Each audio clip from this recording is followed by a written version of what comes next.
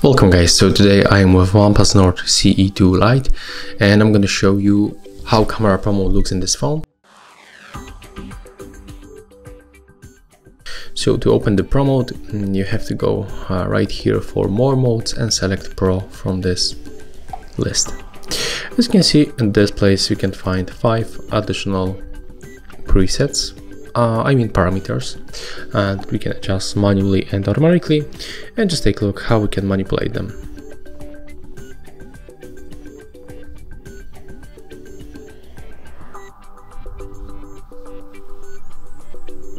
To set it automatically just click on this button right here. And you can make it almost with every parameter. The only one that we cannot set automatically it's this one that's exposure compensation.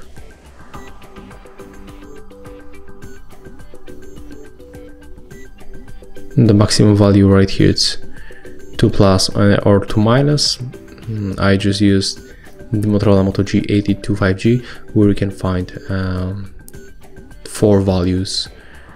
The minus 4 and the plus 4 That's the focus.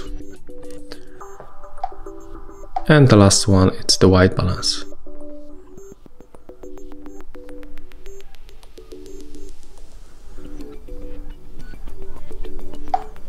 When you tap on this information icon, you'll also get uh, info how to use these parameters, I mean, what they actually do.